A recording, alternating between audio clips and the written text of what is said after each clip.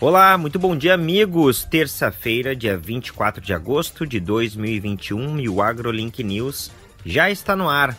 Estamos aqui abrindo mais uma edição e na pauta do programa nós vamos falar sobre o atual cenário da avicultura em Santa Catarina, que vem contabilizando bons resultados e recuperando o mercado internacional. Na soja, nós vamos também falar sobre a força do grão e trazer as perspectivas para o futuro da oleaginosa aqui no Brasil. Também, é claro, vamos atualizar a previsão do tempo e trazer os indicadores econômicos. Eu sou o jornalista Lucas Rivas e estarei com vocês aqui lhe fazendo companhia em mais uma edição do AgroLink News. Agora eu trago os principais destaques do nosso portal na soja Cresce a demanda pelo grão no Brasil, o dólar valorizado frente ao real está sustentando as altas nos preços da oleaginosa no mercado interno. E as importações de produtos químicos também bateram um novo recorde. Enquanto isso, as exportações brasileiras de produtos químicos somam mais de 1 bilhão de dólares.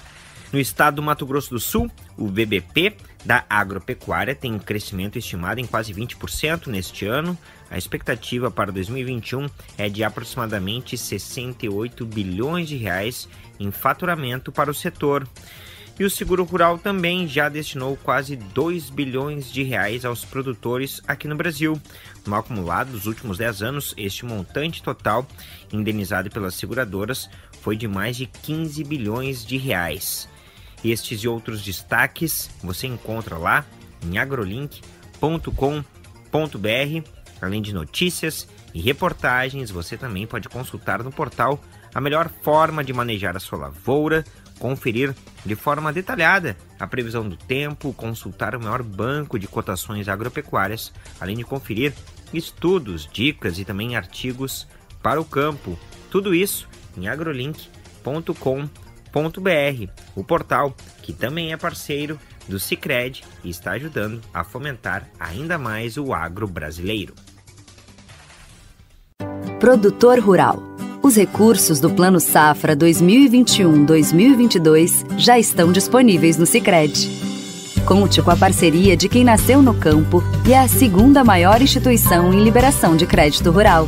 A gente coopera, o campo prospera. Converse com o seu gerente. Sicredi, aqui o agronegócio rende um mundo melhor.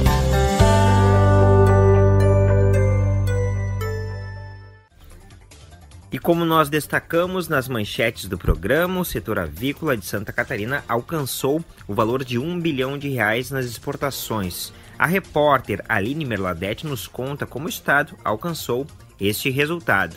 Muito bom dia, Aline. Bom dia, Rivas. O segundo maior exportador de carne de frango, o estado de Santa Catarina, já acumulou um bilhão de dólares em exportações este ano. Os produtores catarinenses venderam mais de 583 mil toneladas do produto para centenas de países.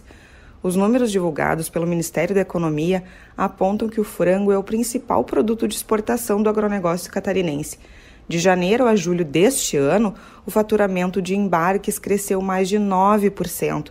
As exportações vêm crescendo para diversos países, como o Japão, que comprou 6,3% a mais de carne de frango catarinense. Outros mercados em expansão são a Arábia Saudita, com alta de 41% nas compras, e Chile, para onde as exportações cresceram quase 80%. Mas a maior surpresa veio do México, já que os embarques para, os, para o país foram 69 vezes maiores no primeiro semestre deste ano do que no mesmo período em 2020. Apenas as vendas para o México totalizaram 21 milhões e 700 mil dólares. Do portal AgroLink, Aline Merladete. Obrigado pelas informações e quem também destacou estes bons resultados da avicultura catarinense foi o secretário da Agricultura, Altair Silva, ele que ressaltou a importância deste setor, deste segmento para a economia no estado da região sul do Brasil.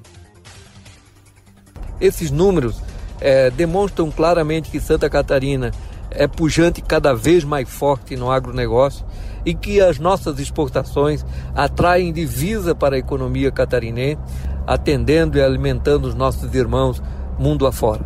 É o agro catarinense de parabéns pelos resultados que vem conquistando. Este então, o secretário da Agricultura de Santa Catarina, Altair Silva. E da proteína animal, nós viramos a pauta para falarmos sobre a agricultura, para aprofundarmos, em específico, as últimas informações sobre a soja. Eu converso agora com o diretor financeiro da ProSoja Brasil, Adriano Barzotto. Recentemente, Barzotto, a Conab divulgou uma projeção de redução na produção de grãos, incluindo a soja. Esta situação preocupa os produtores do grão? Muito bom dia. Bom dia, Lucas. Bom dia, ouvintes do AgroLink News.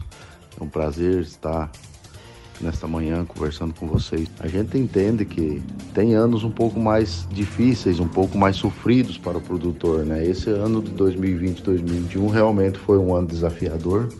O produtor precisou se sobressair na questão climática. Várias regiões brasileiras tiveram perdas é, por questão de falta de chuvas. Aí o Paraná sofreu bastante na, na safra normal, né, na safra de verão, principalmente o milho.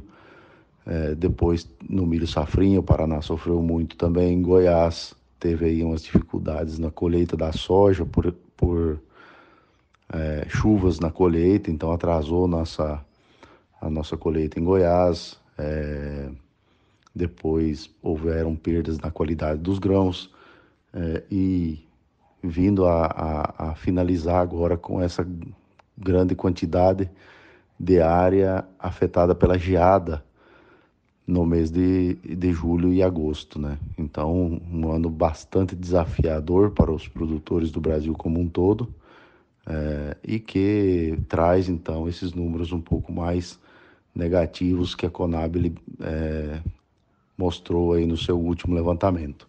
Mas nada que o produtor não consiga é, administrar. Com certeza, os números, se o clima for melhor para o ano que vem, serão números mais alentadores, né? O que traz melhores receitas para o país, embora esse ano sabemos que o preço ajudou muito, né? Então o produtor ainda assim, com, com uma colheita um pouco mais é, restrita, teve ainda renda, né? Tem, ainda teve uma boa margem, já que os preços estão extremamente remuneradores nessa safra 2020-2021. E temos aí pela frente também boas perspectivas no mercado, tanto de milho como de soja, né? Os produtores brasileiros aí têm boas janelas de comercialização para os próximos meses aí, já avisando a safra 2020-2021. Sim. Agora, como no último ciclo nós tivemos problemas climáticos, eu lhe pergunto: existe alguma maneira de reduzir estes problemas na próxima safra? Existem algumas práticas que fazem com que os riscos sejam minimizados. Então, o que a gente, é, como entidade, a ProSoja, sindicatos e outras, orientam seus produtores é que é, se faça aí uma boa cobertura de palhada, é que se faça é, uma boa calagem, é, solos é, estejam é, com um, com um teor de matéria orgânica bastante elevado e também que não sejam compactados. Né? Então esse é o dever de casa que todo produtor precisa fazer para que ele tenha aí uma, uma mitigação dos riscos na questão de anos com pouca pluviometria, né? Então essa é a questão que a gente sempre coloca para que o produtor tenha aí atenção e cuide realmente do seu solo, cuide realmente da sua da sua matriz produtiva, que é o bem maior que ele tem dentro da propriedade.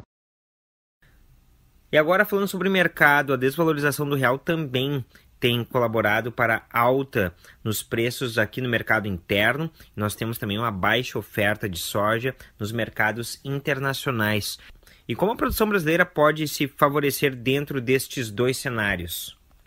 Temos aí um ano extremamente diferente também nessa questão.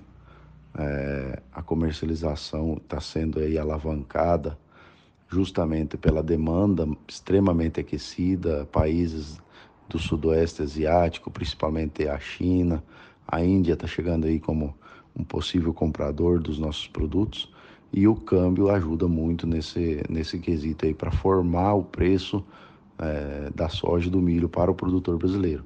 Então, o produtor, na verdade, ele precisa estar muito atento ao seu custo de produção, é o que a gente sempre fala. É, o produtor tem que ter o olho no peixe e o outro no gato, olhando o seu custo de produção para que ele tenha uma consciência da sua margem é, ao final do ciclo.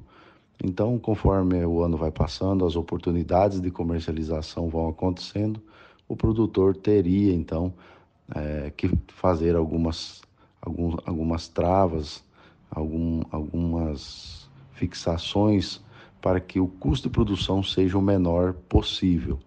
E também tem aí a tranquilidade para deixar um pouco da sua produção para comercialização aí no segundo semestre de cada ano. É, é uma forma bastante inteligente que a gente enxerga de trabalhar é, nessa, nessa parte de comercialização de grãos. Nunca vender tudo antecipado e nem deixar também para vender tudo depois da colheita. Agora, diretor financeiro da ProSoja Brasil, Adriano Barzotto, apesar de ainda ser um grande comprador à China, ela vem anunciando programas para reduzir a sua dependência da soja importada. Preocupa esta ação adotada pelo gigante asiático e quais serão os impactos aqui para a produção brasileira? quando se fala da China, essa questão aí de talvez ela, ela diminuir a, as intenções de compras, isso aí nada mais é do que o jogo do mercado.